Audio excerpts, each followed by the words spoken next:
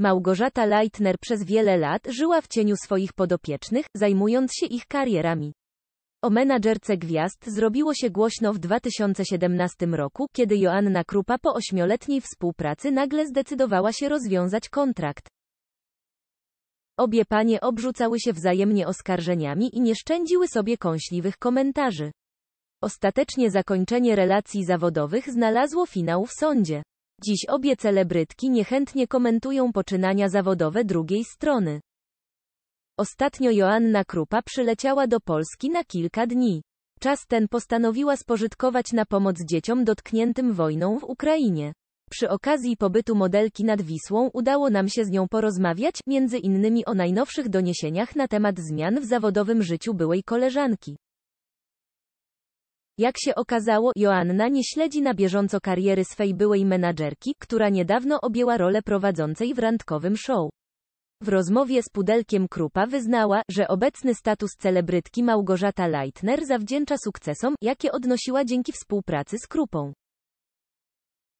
Na koniec dodała, że jeśli praca w telewizji jest spełnieniem marzeń Małgorzaty, to życzy jej dalszych sukcesów. Wykorzystała ten sukces, który miałyśmy razem, na swoje konto. Gratulacje, jak to było jej marzenie. Niech jej sukces przychodzi. Krupa skomentowała również poczynania Karoliny Pisarek. Niegdyś jurorka top model była dla początkującej modelki mentorką, jednak ich drogi szybko się rozeszły. Dziś Pisarek próbuje swoich sił w programie muzycznym, co nie zawsze kończy się sukcesami. Krupa w towarzystwie naszego reportera obejrzała fragment występu Pisarek. Zapewniła, że decyzje celebrytów o udziale w poszczególnych programach nie zawsze są podejmowane przez ich menadżerów.